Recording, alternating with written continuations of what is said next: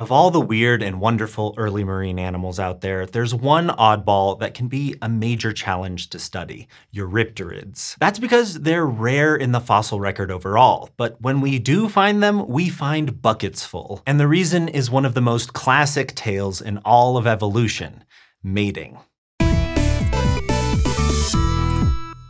Let's start by explaining what a Eurypterid even is. They were ancient sea-dwelling invertebrates that first appeared in the late Ordovician period, roughly 467 million years ago, and went extinct by the end of the Permian, around 252 million years ago. They had two big paddle arms, a pair of pincers, and a whole bunch of legs on the front end of their bodies, and most also had a big needle-shaped stinger at the end of their tails. They look wild. Nothing at all like their closest living relatives, the humble horseshoe crab. And they came in all sizes too. The smallest aren't much bigger than a few centimeters, but the largest is estimated to have been more than two and a half meters long, making it not only the biggest Eurypterid, but the largest arthropod to have ever lived. Granted, that size is only an estimate since the only piece they found was a claw, but it's still terrifying. While they're sometimes called sea scorpions, there's evidence that by the end of this group's existence, they were branching out. They ventured into brackish and freshwater habitats, and a few of them were even able to breathe air for short periods of time, kind of like today's mud skippers do. And largely because of that whole over 400 million years old thing, there's still just a lot that we don't know about these creatures, especially the older groups. But thanks to the way that certain fossil sites form, we do have a sense of how their lifestyles may have been different from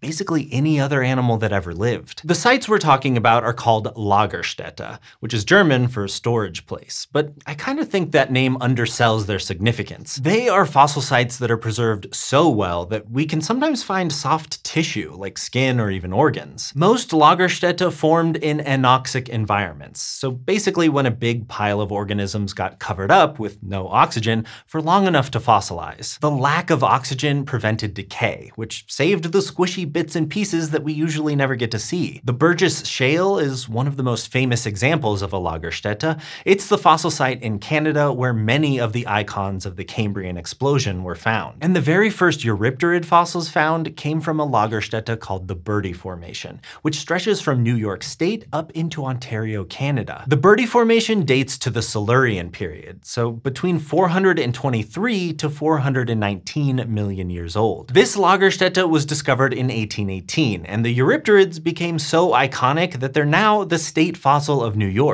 The ones from the genus Eurypterus are the most well represented in the fossil record, and at least part of that has to do with this Bertie formation, where they're absolutely everywhere. The abundance led researchers to question what it was that caused so many of these guys to gather in one place.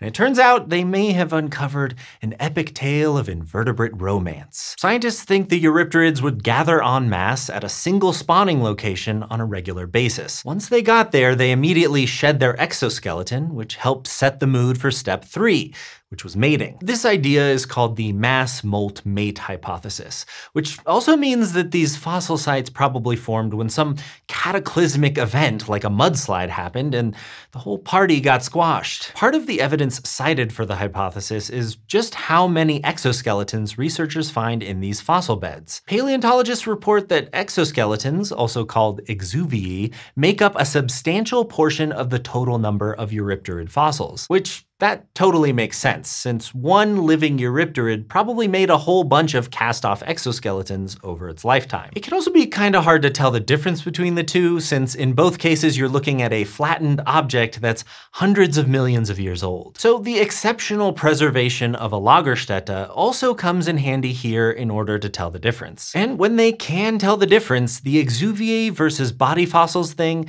gives researchers critical information about the different behaviors of males and females. Because they find more female exuviae at these sites than they do of males, paleontologists think that the females stayed behind at the spawning site long after the males had left, probably waiting for the ideal time to lay their eggs. The longer they stayed, the more likely it was that they needed to molt while they were there. And the baby Eurypterids probably hung around on those beaches for a while after hatching as well to avoid predation while they were still just teeny tiny. So the existence of this Lagerstätte and the piles of Eurypterids we find there gives us a really rare glimpse into not just what these animals looked like, but how they lived. And this month's SciShow Rocks box subscribers will get to see that for themselves.